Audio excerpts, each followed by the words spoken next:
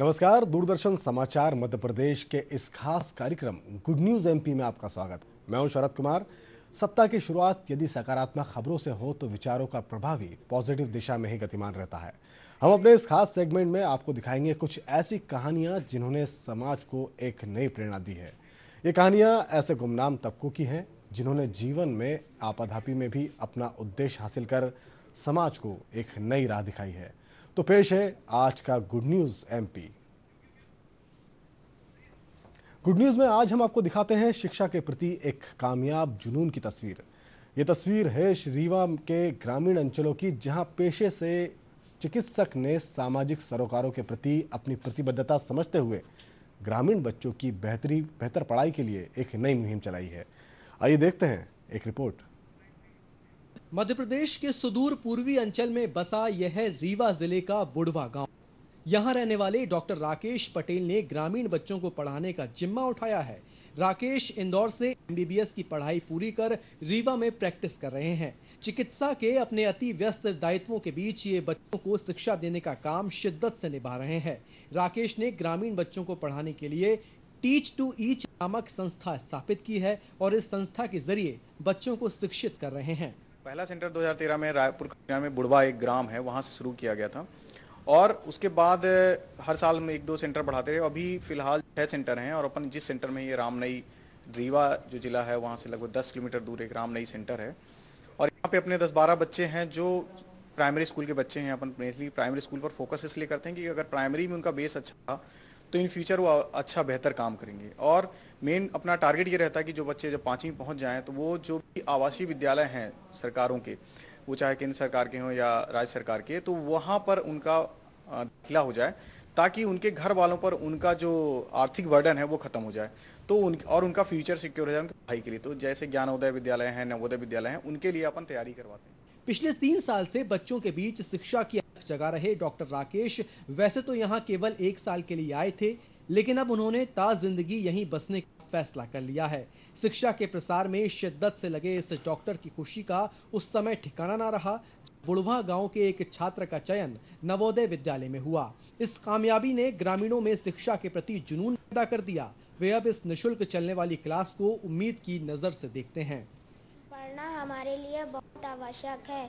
जो जो बच्चे नहीं पढ़ पाते वो पत, वो बड़े होकर कुछ नहीं कर पाते। और जो बच्चे पढ़ लेते हैं वो बहुत कुछ कर पाते हैं। मैं भी बड़े होकर डॉक्टर बनना चाहता हूँ मैं भी पढ़ना चाहता हूँ मेरे को पढ़ना बहुत अच्छा लगता है। ग्रामीण बच्चों को शिक्षित करने के लिए स्थापित किए गए इस संस्थान में डॉक्टर राकेश ने अपने समय के साथ साथ निजी पूंजी भी लगाई। उन्होंने रीवा से सटे दूसरे कई गाँवों में भी बच्चों को पढ़ाने के लिए अपनी संस्था की स्थापना की।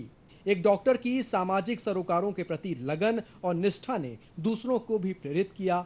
आज उनके दोस्त भी टीच टू ईच में अपना योगदान दे रहे हैं। शुरू में जब ए, ए, हमारे पास एक या दो सेंटर थे तो मैं अकेले ही उन सेंटर्स में अपने शिक्षकों को सैलरी दिया करता था उसमें, लेकिन जब सेंटर सभी अपने पास छः सात सेंटर हैं जब से तो हमारे कुछ मित्र हैं, हमारे सहयोगी हैं, वो इसमें बहुत मदद करते हैं। कुछ मतलब जो हमारे इवन मेरे मेडिकल कॉलेज के जो साथी लोग हैं, वो हैं। कुछ बाद में जो साथी बने हमारे व्हाट्सएप ग्रुप के थ्रू या यहाँ लोकल में, वो भी हमारी मदद करते हैं। तो आजकल मतलब कई डॉक्टर्स इसमें शामिल हैं जो हमारी मदद कर रहे हैं। इवन कॉलेज के कुछ डॉक्टर्स में शामिल हैं, वो हमारी मदद कर रहे हैं। लेकिन ये ज़रूर है कि रीवा में बहुत सारे लोगों का बहुत सहयोग मिल रहा है और हमें इन फ्यूचर हमारा जल्दी ये प्लान है कि कम से कम हर छोटी छोटी जगहों में इस सेंटर को बनाया जाए ताकि बच्चों को क्वालिटी एजुकेशन मिल सके और इस साल दस सेंटर और नए खोलने का मतलब हमने विचार किया है। अपने लिए जिए तो क्या जिए? ज़िंदगी तू जिए दिल जमाने के लिए। वास्तव में ज़िंदगी वही है जो समाज के काम आए। राकेश ने बच्चों को शिक्षित करने का बीड़ा उठाकर एक रास्ता दिखाया है। उम्मीद है राकेश की जगह शिक्षा की अलख दूसरे लोगों को भी सरोकारी ज़िंदगी जीने के लिए प्रेरित करेगी। रीवा से आरती श्रीवास्तव के साथ bureau report, DD news, Bhopal.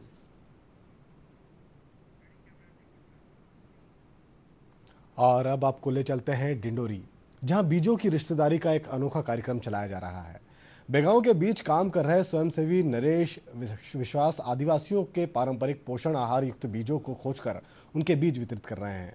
बीजों की अनोखी रिश्तेदारी पर देखिए हमारी ये खास रिपोर्ट।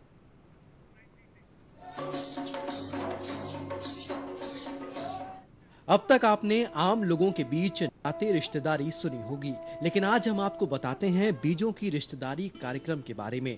ये एक अनूठा कार्यक्रम है, जिसके तहत आदिवासी समाज के बीच से विलुप्त हो गए बीज फिर से उन्हें प्रदान किए जा रहे हैं। आदिवासियों के बीच काम कर रहे स्वयंसेवी नरेश विश्वास ने बीजों की रिश्तेदारी का यह अनूठा कार्यक्रम शुरू किया है। नरेश विश्वास ने देश के विभिन्न हिस्सों से बीजों को एकत्रित कर बैगाओं को एक बार फिर अपने पारंपरिक बीजों की सौगात दी है। बैगा इलाके अपने बच्चे की तरह जो है, इन पौष्टिक अनाजों को पाल पोस के अपने पास ज़िंदा रखा ज़िंदा रखा है। जो अनाज है, बैगा आदिवासी जो उनकी पारंपरिक खेती होती थी, जिसे बैगा लोग बेवर कहते हैं, बेवर में एक ही साथ, एक ही खेत में उगाते थे। हम लोगों ने पिछले दस सालों से इन अनाजों को अलग अलग देश के अलग अलग राज्यों में अलग अलग आदिवासी इलाकों में अलग अलग आदिवासी गाँव में जाकर के खोजना शुरू किया। बीजों को संरक्षित करने के लिए नरेश विश्वास ने बीज बैंक का गठन किया है। ये बीज बैंक सभी बैगाओं को बीज वितरित करता है। रिश्तेदारी कार्यक्रम के तहत मध्य प्रदेश और छत्तीसगढ़ की जनजातियों के बीजों की प्रदर्शनी लगाई जाती है और बीजों का आदान प्रदान किया जाता है ताकि बीजों की ये किस्में सभी जगह एक साथ मिल सकें।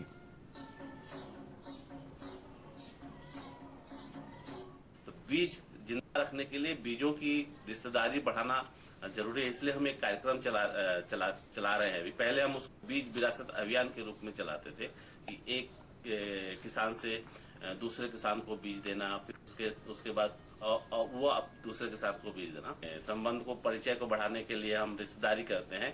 वैसे ही हम आपस में बीजों की अगर रिश्तेदारी करें, आप आए हमारे यहाँ हमारे यहाँ से बीज लेके जाए, अपने खेतों में डाले तो आपके पास भी जो आपके पुरखा के, पुरखौती के जो बीज थे वो आपको मिलेगा।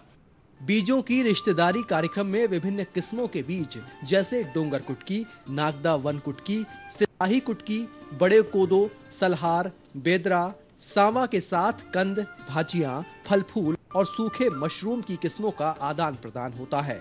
पारंपरिक आदिवासी समाज के भोजन के स्रोत रहे इन के परिणाम गाँव के खेतों में दिखाई देने लगे हैं। 40 साल पहले तक जो किस्में उनके खेतों में पाई जाती थीं, बीजों की रिश्तेदारी के माध्यम से वे फिर से मिल रही हैं। हमारे पास मरिया नहीं रही, हमारे पास कांग नहीं रही से, हमारे पास जुआर नहीं रही से, हमारे पास सलहार नहीं रही से, और एक हर बात जो है, हमारे पास इन राहर नहीं रही, बाकी इस साल जो है, हमारी सारी चीज़ जो है देने तक पाहन तो है। थोड़ा हवे, पहले हमन बीस साल पहले हमार दादा मन लगात रही और ओकर बाद इस साल अभी शुरू लगाए हन। मैं बीस साल बाद अभी देखा तो फिर ला और ला अभी अभी लगाए हन। से भरपूर इन अनाजों की आदिवासी इलाकों में बहुत अधिक ज़रूरत महसूस होने लगी है, क्योंकि पारंपरिक पद्धति की खेती से दूर होने के बाद आदिवासियों में कुपोषण की समस्या देखने को मिल रही है। सैकड़ों साल पहले जिस तरह की खेती बैगा आदिवासी करते थे, वो पौष्टिक अनाज के बीज उनके खेतों से कम होते गए। कई बीज तो ऐसे हैं जो गाँव से विलुप्त हो गए, लेकिन बीजों की रिश्तेदारी कार्यक्रम के बाद ये बीज फिर से बैगाओं मिल गए हैं। डिंडौरी से लक्ष्मी नारायण अवधिया के साथ bureau report DD news Bhopal. और गुड न्यूज़ मध्य प्रदेश में आपको दिखाते हैं एक विद्यालय जहाँ संगीत की धुन पर डांस करके बच्चे पहाड़ा सीख रहे हैं। यहाँ बच्चों को शिक्षा प्रदान करने के लिए शिक्षकों ने नवाचार किया और नए नए तरीकों से पढ़ाई करा रहे हैं। आइए देखते हैं एक रिपोर्ट। यूँ तो इन दिनों गर्मी की छुट्टियाँ चल रही हैं, लेकिन आगर मालवा ज़िले के लालाखेड़ी ग्राम के शासकीय माध्यमिक विद्यालय में दिनों भी पढ़ाई चल रही है। जिला मुख्यालय से करीब 50 किलोमीटर दूर स्थित स्कूल ने अपनी नवाचारी प्रयासों से पूरे ज़िले में खास पहचान बनाई है। ग्रीष्मकालीन अवकाश होने के बाद भी इस स्कूल में सुबह दो घंटे क्लास लगती है। क्लास के दौरान बच्चों को खेल खेल में नई चीज़ें सिखाई जा रही हैं। बच्चे आसान तरीके से कैसे समझें, इसके लिए शिक्षक भी नए नए प्रयोग करते हैं। यहाँ के शिक्षक अरुण कुमार नाबर ने एक नवाचार किया, जिसके तहत बच्चे डांस करते करते पहाड़ा सीख रहे हैं। खेल खेल में पढ़ाई और सीखने का ये तरीका बच्चों को भी पसंद आ रहा है।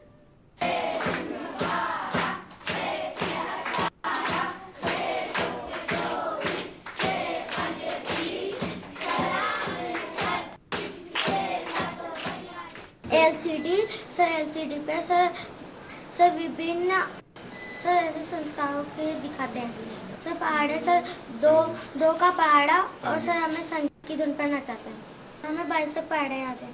उन्नीस सौ उन्नीस उनतीस अड़तीस, उनतीस सत्तावन उनचास चौहत्तर उनपन पचानवे उन्नीस सौ तेईस तैंतीस उन्नीस, साठ, एक सौ बावन उन्नाम एक सौ सत्तर उन्नीस एक सौ नब्बे सारी जो मध्य प्रदेश शासन जो व्यवस्थाएँ दी जाती है, हम उनको व्यवस्थित करके उनको पढ़ाते हैं बच्चों को। हमारे स्मार्ट क्लास है। और हमारे सबके विषय बटे हुए हैं, हम उस पर विषय के हिसाब से विषय का अध्ययन कराते हैं। जिसमें सहूलियत होती है वो हमको स्मार्ट क्लास में भी बता- बताते हैं उनको पहाड़े तो बड़े आनंद के साथ सिखाते हैं सर। सब बैठ जाते हैं और डांस के साथ में ताकि उनको मज़ा भी आता है और वो आनंद लेते हैं उसका। और जिनको सुन के भी बहुत से याद हो जाते हैं पहाड़े उनको। आगर मालवा के सुसनेर विकास खंड के लालाखेड़ी स्थित इस स्कूल को वर्ष 2015 में शाला सिद्धि योजना में शामिल किया गया था। स्कूल में काम कर रहे शिक्षकों ने माहौल कुछ ऐसा बनाया है कि छात्र पढ़ाई करने के लिए खुद प्रेरित हो रहे हैं। स्कूल की सुविधाएँ प्राइवेट स्कूलों की व्यवस्थाओं को भी बात कर रही हैं। बच्चों को आसान तरीके से सिखाने के लिए स्कूल में स्मार्ट क्लास बनाई गई है। इस क्लास में लैपटॉप म्यूज़िक सिस्टम और एलईडी का उपयोग कर बच्चों को पढ़ाया जाता है। विद्यालय में खेल का मैदान साफ़ सुथरे शौचालय, सभी बुनियादी सुविधाओं का खास ख्याल रखा गया है। इस स्कूल में प्रेरक देवी सिंह निशुल्क सेवाएँ दे रहे हैं और बच्चों को स्कूल आने के लिए प्रेरित कर रहे हैं। स्कूल में बाल कैबिनेट भी आयोजित होती है, जिनमें विभिन्न विषयों को लेकर चर्चा होती है। सर हमारे स्कूल में संगीत की धुन पर पहाड़े सिखाते हैं स्मार्ट क्लास में सर एलसीडी दिखाते हैं। सर हमारे स्कूल में एक हैंडपंप है, उससे पानी की सुविधा करते हैं। दो शौचालय है प्राइवेट स्कूल में सुविधाएँ नहीं देती ऐसी हमारे स्कूल में सुविधाएँ है। स्मार्ट क्लास के माध्यम से एलईडी के द्वारा बच्चे सीखते हैं, विज्ञान के प्रयोग गणित के कठिन से कठिन सवाल को सरल किए जाते हैं। वहाँ पुरुषों की हमने तस्वीरें लगा रखी ताकि बच्चों को इनसे ज्ञान मिले और माँ सरस्वती की पूजन की जाती है, स्कूल समय पर लगाया जाता है, समय पर बच्चों को छुट्टी की जाती है और बच्चों को जब आनंद आता है तो हम और अधिक देर तक भी बच्चों को पढ़ा लेते हैं और बच्चे उससे सीखते हैं। सीखने के लिए हम खेल गतिविधियाँ भी करते हैं। आमतौर पर हमारे सामने सरकारी स्कूलों की बदरंग तस्वीर ही पेश की जाती है। सुविधाओं के ना होने का बहाना किया जाता है, लेकिन नौनिहालों के भविष्य गढ़ने की ललक रखे मालवा के इस स्कूल ने व्यवस्था की एक अलग तस्वीर पेश की है।